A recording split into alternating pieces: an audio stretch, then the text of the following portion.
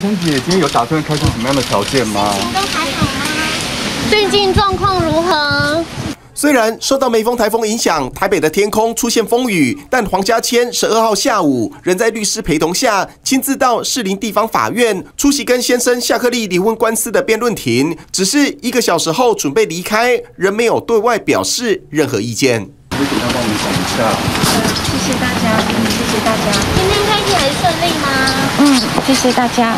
至于一度传出九月份将会亲自回国出庭的夏克立，则是委托律师出席，但过程双方到底谈到哪些议题，律师同样保密到家。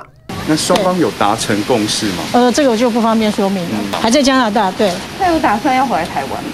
嗯，这这个涉及案情，我们就不不多说了。其实黄家千在今年七月初证实婚姻出现问题后，就立刻传出要打离婚官司，震得外界一阵错愕，好友都自恐。现在网络发难，炮打夏克立，接着夏克立的友人也提出反击，控告黄家千的五大罪状。谢谢大家的关心，然后呃，现在应该就是呃，已经开始呃，有走用呃司法的程序也在进行。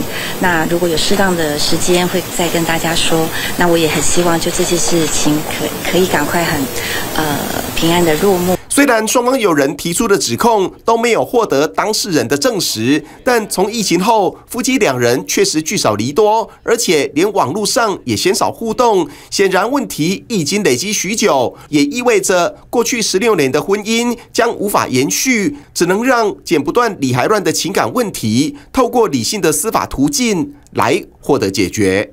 TVBS 新闻黄俊伟 SNG 小组台北报道。